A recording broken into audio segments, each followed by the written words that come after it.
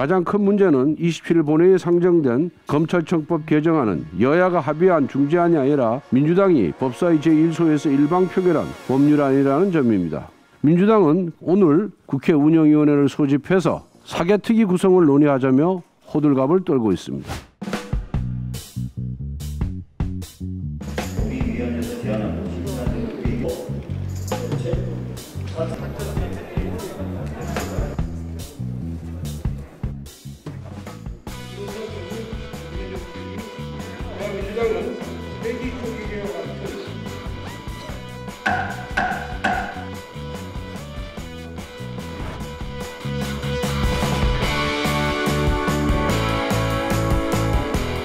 국민의힘은 이미 검찰청법 개정안 졸속 처리 과정에 대해 헌법재판소에 효력정지 가처분을 신청했습니다.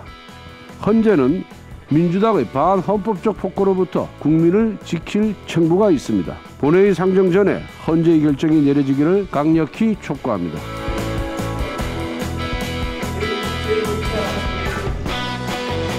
문재인 대통령은 국회의 시간이라며 모른 체 할 것이 아니라 결자 해제해야 합니다.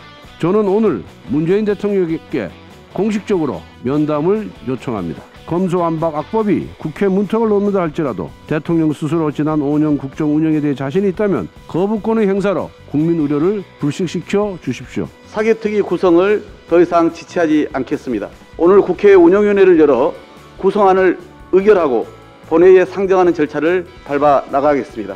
사개특위 구성안은 입법사항이 아닙니다. 저는 어, 법률안이 아닌 어, 안건이기 때문에 그리고 그 중재안 자체가 이미 양당에서 서로 파기선언을 했기 때문에 그 사개특위 구성안 어, 그 협조에 저희들은 응할 수가 없다. 그 민주당이 밀어붙이고 강행 처리하면은 복수부처를 당할 수밖에 없는 것이죠. 그런데 에, 법안과 달리 사개특위 구성안은 어, 소수당인 우리 당의 협조가 없으면은 운영되기가 어렵습니다.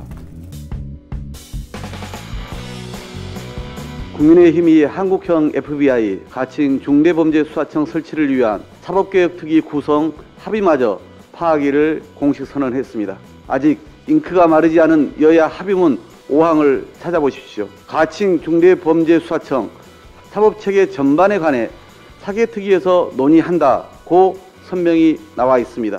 한 번 합의를 파기하더니 의도적인 거짓말까지 거침이 없습니다. 헌법재판소가 무슨 민원 서류 발급기입니까? 서류 한 장 넣어놓고 빨리 판결해달라 이 후한무치함도 정도껏 해줘야 될 거라고 생각합니다.